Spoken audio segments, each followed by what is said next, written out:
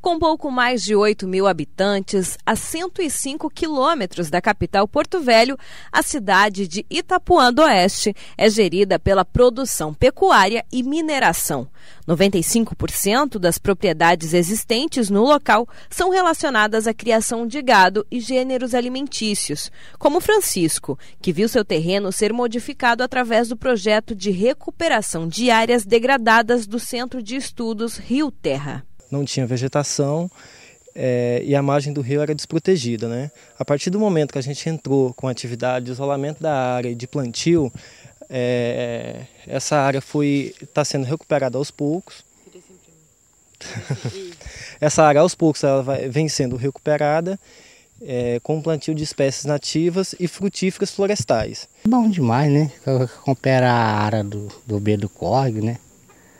É bom demais essa coisa aí. Qual a diferença hoje? Ah, hoje você vê que aí carne não tinha, desmatar até o B do rio e tudo, né? Agora fazendo serviço aí fica bom, né? Nas áreas onde há a criação de gado, a desestruturação do solo. Já nas margens do rio que cerca o terreno, a recuperação com cerca de 0,8 hectares, quantidade de terras quase comparado a um campo de futebol. A gente procura trazer a realidade que seria de uma floresta natural, né? Então isso é intercalado, as espécies aqui nessa área foram usadas 36 espécies florestais diferentes, é, entre pioneiras e espécies é, de clímax. O que, que, é isso? As espécies pioneiras é as que vai se desenvolver primeiro e que vai ter uma sucessão pelas de clímax. A função das pioneiras é fazer sombra. Aqui está o exemplo de uma espécie pioneira, é, que é o murici. Então ela vai fazer sombra e ciclar nutrientes para que as outras, as espécies tardias se desenvolvam é, se desenvolva. Então, aqui nessa área que já tem dois anos de recuperação, a gente já tem um início do que seria uma floresta. Então, já com as folhas, pedaços de galhos, frutos que que são ciclados, é, que, que caem no solo, eles estão se tornando nutrientes para as outras plantas que estão vindo.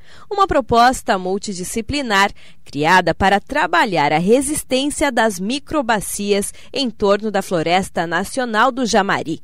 A recuperação das matas ciliares proporciona a fixação de carbono e implementação de SAFs, que além de trazer ganhos dos serviços ambientais, gera renda às famílias beneficiadas de Itapuã do Oeste e Cujubim. O projeto começou em 2009, né? E nesse período nós já é, cadastramos mais de 200 propriedades entre Itapuã e Cujubim e 36 hectares foram recuperados em 17 propriedades. Esses são é, vamos dizer, áreas né, prioritárias de APP, né, de beira de, de de rio, é, recuperados com mata ciliar.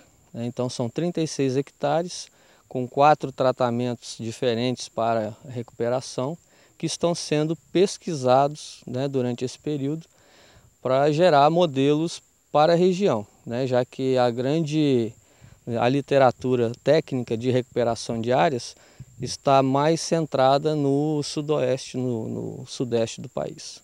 A própria floresta do Jamari é quem proporciona as sementes para a recuperação dessas áreas e abastecem o viveiro do projeto.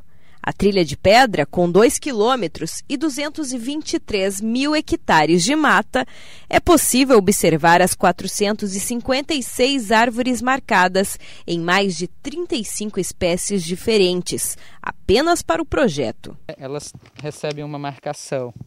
Nós já marcamos mais de 400 matrizes aqui. Né? Essas matrizes elas são identificadas aqui. Ó. Nós estamos nessa estrada aqui, ó, nessa trilha. Tá certo? Então, quando qualquer pesquisador quiser chegar aqui e identificar uma árvore, a gente tem essa marcação, por exemplo, lógico que não está aqui nesse mapa, mas eu sei lá no computador qual é a espécie, que é a número 126. Aí eu vou ver lá, copaíba, vamos dar um exemplo.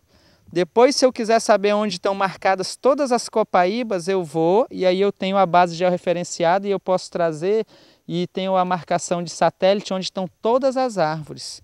Então, se qualquer pesquisador quiser chegar aqui e falar, ah, eu quero fazer um estudo da espécie tal, nós trabalhamos com 35 espécies marcadas.